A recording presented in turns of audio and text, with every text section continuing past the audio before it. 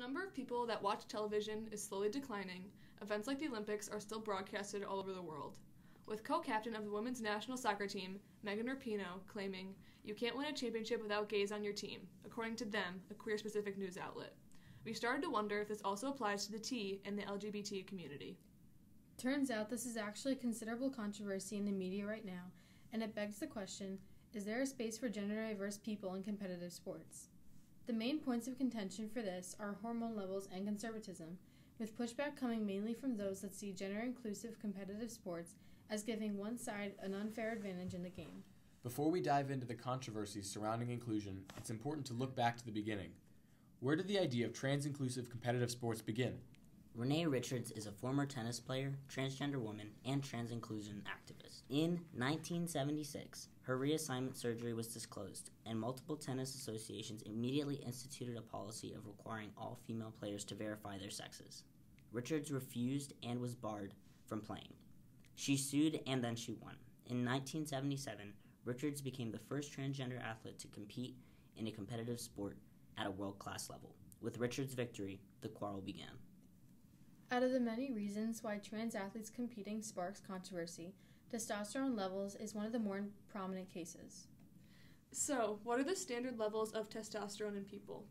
According to an article published by the Harvard Medical School, the average level of testosterone in males ranges from 270 and 1070 nanograms per deciliter.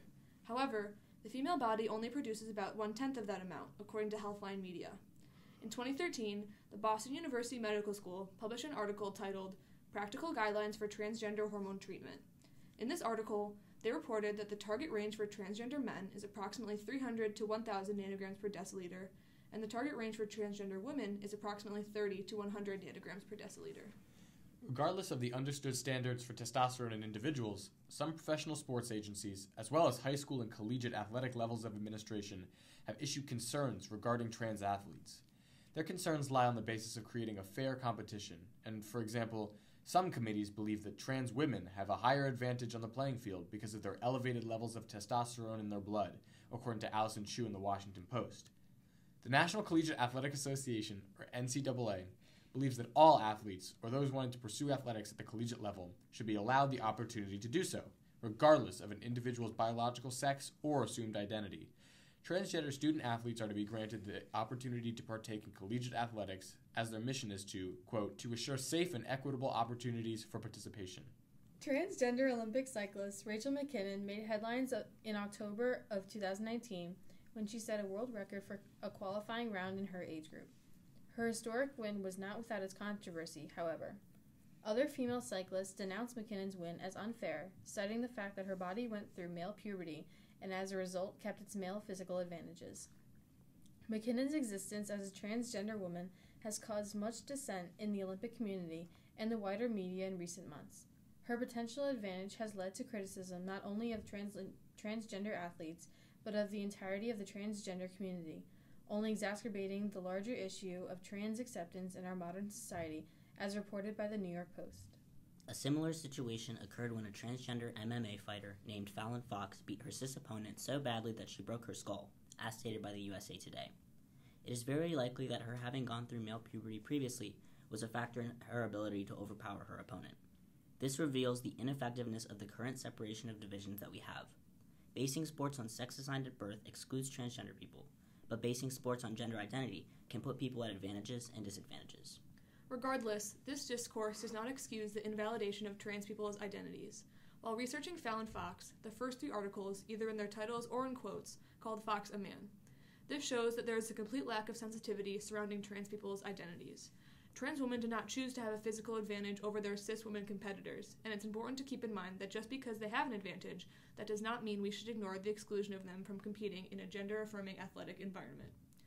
Physical activity is extremely beneficial for physical and mental health, and because we have a system that is inherently non inclusive, gender diverse people often avoid the gym like they would the bathroom. Transgender people are already more likely to experience eating disordered behavior, depression, and anxiety, so creating an unwelcoming environment for them in athletic spaces will in no way help to alleviate these harms. Unsurprisingly, dissent comes from all sides of the spectrum. Compare her to Chris Mosier, for instance, an FTM duathlon runner and trans activist. He has faced challenges regarding his role in national sports as a trans athlete, but simply for his identity. He is a world class athlete competing on par with men, with physical advantages, yet still is discriminated against due to his identity. Fighting for trans inclusion in competitive sports is tough, and trans athletes have much to say on the subject. One side of this controversy is well explained by Schuyler Bailar, a competitor on the men's swim team for Harvard and the first ever Division I transgender athlete. If we see a six foot three cisgender, not trans woman, who's good at sports, let's say she's good at basketball, we say, wow, she's made for basketball, right? We see a six foot three tall transgender woman, we say that's unfair.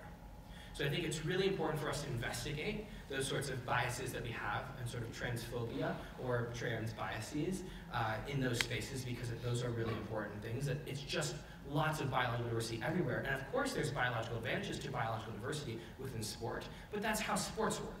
Conservative backlash has also been a driving force in the battle for trans inclusion. States across America are fighting for sex exclusive sports down to the high school level. In November of 2019, Kentucky came to the forefront of this fight. Kentucky has brought to its legislator a bill that would effectively prohibit transgender competing in the sport that corresponds with their identity. Rules like these are not completely stopping trans people from competing in the sports they love. Mack Beggs was a high school student in Texas competing in wrestling. He was barred from competing with other men, so he had to wrestle girls as a result. Unsurprisingly, he went undefeated, seeing that he was on testosterone, a steroid, for his transition. While this seems like a comical retort to the unfair school rules, Mack Beggs experienced a lot of harassment for competing, with his mother reporting that, quote, somebody posted they should put Mack in a men's prison and he should be raped.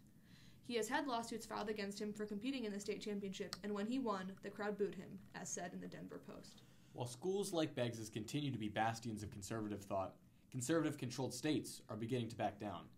Beggs's own state of Texas, along with South Dakota and North Carolina, have all stepped back from transgender exclusion, with proposed bathroom bills being either killed on the floor or shot down by veto. Transgender people are slowly being incorporated into the competitive sports community as they are being given more visibility, and though the controversy surrounding them and their identities is seemingly at the forefront of the debate, another group silently faces its own challenges intersex people. Intersex is a term used to define a wide category of people, all with one overarching commonality. People that are considered intersex are those whose primary sex characteristics, secondary sex characteristics, or sex chromosome arrangements do not line up with the typical definition of male or female. Intersex women face their own breed of discrimination in sports due to the possibility of them having overly high testosterone levels. Many sport agencies require testosterone testing to measure if someone is in, is in the male or female range. This can cause trouble for intersex females, especially. In May of 2019, the Court of Arbitration in Sports ruled that middle distance runner Caster Semenya must either take hormone lowering agents or drop out of the competition in her chosen sport. The decision mixes sex and gender in ways that activists would decree as discriminatory, such as the magazine The Conversation. Advocates on both sides of the issue debate over the place of intersex people in sports, and it's difficult to solve independently. Intersex people and transgender people in sports alike are revealing the ineffectiveness of gendered categories. It is sparking a lot of needed discourse, but also revealing a lot of prejudice and hatred against gender diverse people. Both sides definitely have points to make, but the only solution we can foresee to this future is a complete restructuring of how we create sports divisions. Perhaps instead basing them off hormone levels so that trans people and intersex people can compete without getting misgendered, ridiculed, or accused of cheating.